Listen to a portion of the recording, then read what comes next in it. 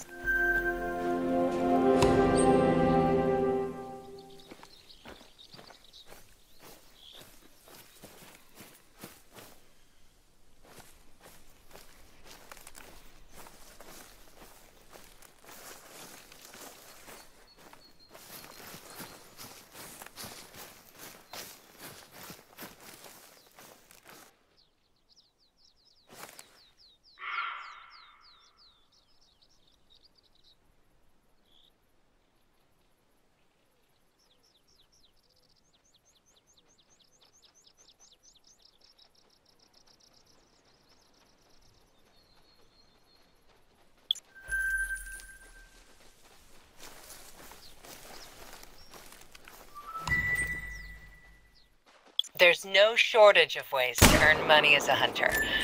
No shortage of ways to spend it either.